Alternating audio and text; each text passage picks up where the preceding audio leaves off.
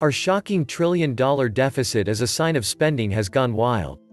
The American people have underestimated the ability of politicians to slip things through when we are not looking. While many voters had their attention focused on the impeachment circus Washington has again unleashed the purse strings. Last time the diversion was a disagreement on funding the wall that distracted us. This time it is impeachment, the trade war and the Fed dealing with a liquidity crisis. The important point is that Washington has again diverted our eyes away from the over-the-top spending taking place. Sadly, this writer had a difficult time getting spending details even after an extensive search of the news and recent articles about what is planned.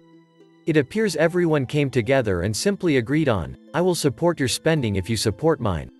The fact remains that while both the Republicans and the Democrats mumble about being dissatisfied over the deficit, this pork-packed bill will rapidly be signed into law.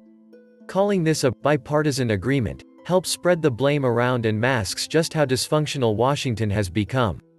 Of course, those we have sent to Washington can fall back on the stand that it was all done in order to avert another shutdown that would damage the economy. The real bonus is it will allow all the players involved to take their victory laps and claim democracy works. Digging around you will find the massive $738 billion defense spending bill passed with a vote of 86 to 8 in the Senate after clearing the House last week. This bill includes a high-profile deal that grants federal employees 12 weeks of paid parental leave in exchange for creating Trump's Space Force, which will be granted a measly $40 million. The administration said it expects the newly established Space Force to burn through $8 billion over the next five years. A close look at the economy reveals it is only this massive and unsustainable deficit spending that continues driving our economy forward. The 2017 tax cuts have not panned out the way Republicans promised when they slashed corporate and income taxes. While we were told tax reform would mark a major shift in companies causing them to bring jobs back to America that may not happen. The structural issues that haunt America's competitiveness far outweigh the benefits brought forth from the tax bill and lower taxes.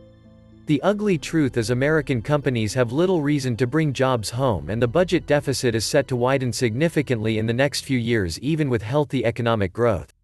According to projections from the nonpartisan Congressional Budget Office. This means the national debt which now tops $23 trillion will soar to more than $33 trillion in 2028. We are looking at a trillion dollar deficit. This translates into America spending $3,333 more than it takes in for every man, woman, and child in the country. To clarify, this is each year and every year but also fails to include state and local deficits as well as a slew of off-book promises and spending that are also being made. This spells big problems going forward if we do not begin to face up to reality and get in front of our problems we will soon find ourselves solidly behind the eight ball. Welcome back to the Survival Economist. You are here for your daily dose of the truth, the whole truth, and nothing but the truth. Please take a second to hit the like button, hit the subscribe button, and don't forget to also hit the notification bell. Thank you. It would be wise not to accept America's recent GDP as verification the economy is hitting on all cylinders. In 1962 Kuznets, the father of the GDP formula emphasized that we must keep in mind the difference between quantity and the quality of growth. While economic growth appears robust and a solid GDP number can result in a feel-good moment building consumer confidence it can also mask growing weakness in various parts of the economy. Quantity simply does not make up for poor quality, we are talking about two different animals. The false narrative that simply growing the size of an economy by adding more people into the mix or using deficit spending undercuts the importance of a solid economic and the long-term stability of the financial system. History shows government spending is a poor substitute for the free market when it comes to allocating capital to where it is most effective instead it creates a false economy by borrowing from the future. Deficit spending is not a silver bullet without consequences. The president's fixation on the stock market and not the real economy represented by Main Street does a great disservice to Americans. Corporate investment decisions are based upon the cost of capital and the prospective equity returns that new investment can generate, not how much capital is available and in our current cheap and easy money, environment capital is basically free. The problem is not funding new investments, but finding endeavors in which to deploy this capital. The economists who largely control the major central banks in the industrialized nations may be able to manipulate markets and cancel excessive debt through open market operations, but they cannot manufacture attractive investments. This is why stock buybacks have become a corporate priority joining other investments that are not productive. The deficit spending propping up our economy has gone far past anything we might have envisioned just a decade ago and the path forward appears challenging. Auto sales have fallen and companies are cutting the number of cars they will manufacture in North America. Housing also is a problem with much of the construction now flowing into high-end apartments rather than affordable units. This is the result of government policy and laws that discourage anyone from wanting to invest or deal with low-income housing. These are two big sectors of our economy but even they have become tired. Indirectly this deficit spending by our government also fuels our trade deficit, this is not only evident by our massive trade deficit with Asia but the United States' huge trade deficit with Mexico which becomes even more disturbing when you begin to understand even that money quickly passes through Mexico and flows to Asia. It could be argued that when all is said and done we are still transferring our wealth to the Far East only by the scenic route. The idea we will reach a quick fix to the trade problems facing America and is a myth and oversimplifies the problems before us in achieving a sustainable trade balance. Reaching a reasonable solution poses a major difficulty in that China is so entrenched in its ideology it most likely will refuse any change that will throttle back its plans of domination. The bottom line is that Washington has become a hostile and unfriendly environment for those interested in good governance. In June a balanced budget plan put forward by Senator Rand Paul, R. key, failed in the Senate by a vote of 69 to 22. This means only 22 of the 53 Republicans voted in favor of the national debt addressing measure. For the first two months of the fiscal year, which began October 1, the deficit grew to $343 billion. The national debt clock showed the U.S. owed more than $23 trillion as of Thursday. The crux of this post is to point out deficit spending is not a silver bullet. It has real consequences and with each step forward we get closer to the end of the road. While those embracing modern monetary theory may argue otherwise Econ 101 teaches that such actions always lead to a very bad place.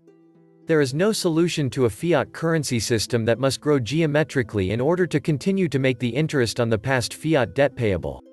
If the growth in the fiat currency supply were to slow down let alone end or worse reverse, many debts nationally and internationally would default resulting in worldwide Great Depression. As a result the promises of future purchasing power held in these various forms of IOUs just vanishes into thin air. The world was set on this path once our money system was disconnected from the limits of the real world. Like two tectonic plates building up strain between themselves. This strain energy will be released at some future point in the form of an earthquake. The longer this strain builds the greater that future energy release will be and the smaller the random event that kicks it off will be. The realignment will occur via two complementary but opposite forces.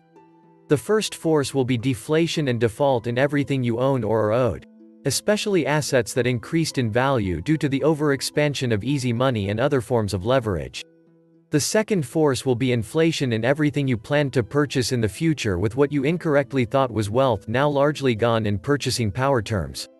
This inflation is largely brought about the government's attempt to retain its sugar daddy status and thus remain in power, i.e. money for the people, and backfill the currency loss of these assets, like pension funds etc.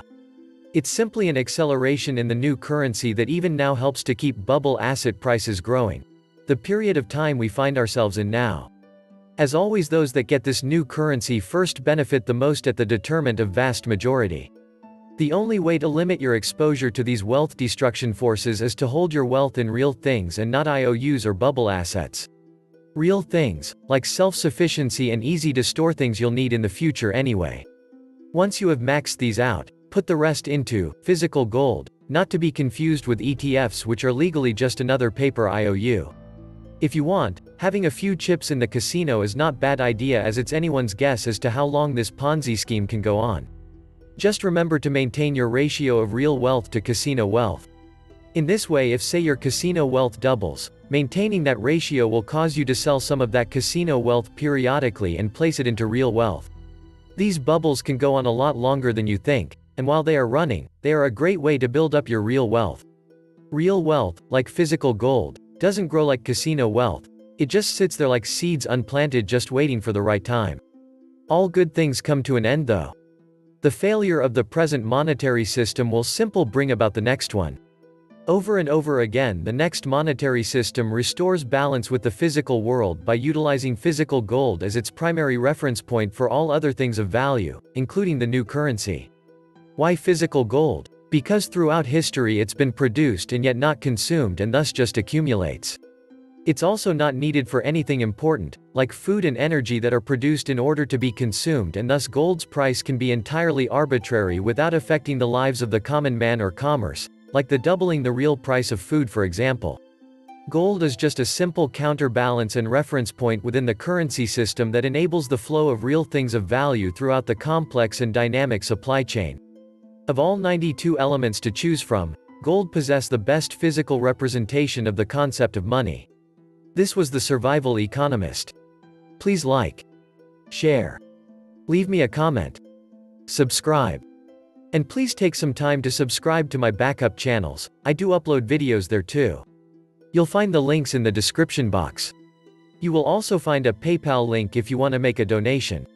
Thank you wholeheartedly to all those of you who have already donated. Stay safe and healthy friends.